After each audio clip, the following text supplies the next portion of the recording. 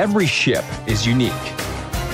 Even sister ships differ from one another, but the aircraft carrier that we'll discuss today has exceeded many in terms of her uniqueness. Shipbuilders laid her down as a battleship, but then changed their mind. However, the ship inherited the armor, secondary armament, and poor maneuverability. Externally, aircraft carrier Kaga resembles Tatlin's tower, intricate bulkheads, the typical Japanese funnel, microscopic superstructures. Everything is tailored for one purpose to launch aircraft.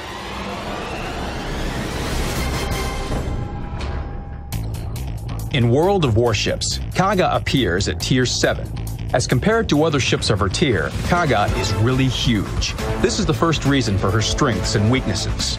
On the one hand, she is as visible as Tokyo's skyscrapers. On the other hand, her huge size allows her to carry 85 aircraft. With a hangar like this, you don't need to be frugal when using squadrons. The battleship armor will help Kaga survive longer, but low maneuverability and a turning circle radius of over a kilometer may well reduce your time in battle. At the same time, Kaga boasts the best torpedo protection for her tier. Though the secondary armament has a caliber of 200 millimeters, its firing range is short and it fires AP shells. But secondary armament isn't what makes a carrier cool, my friend.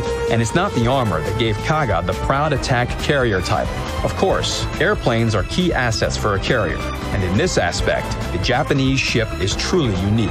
But first things first, While Kaga's fighter squadrons are pretty similar to those of other Japanese carriers, no other ship in the game has bombers and torpedo bombers like this. The first thing that catches your eye is that a squadron has six airplanes, an unusual strength for a Japanese carrier.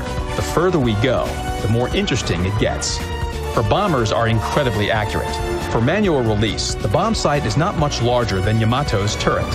This is what I call precision bombing. Fans of massive explosions can now put all their bombs into the target.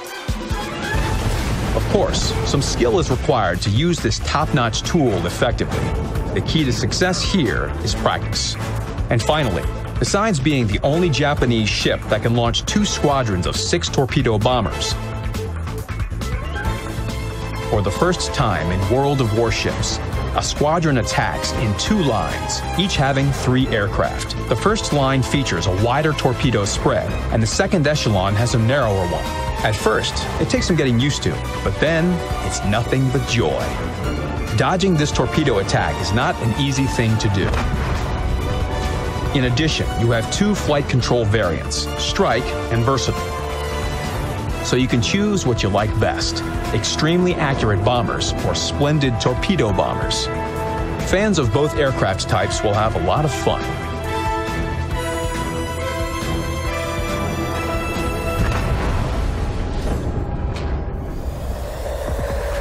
Judging by what we've said above, Kaga should be able to wipe out anyone in her way and win even the most difficult battle on her own. But this only looks easy.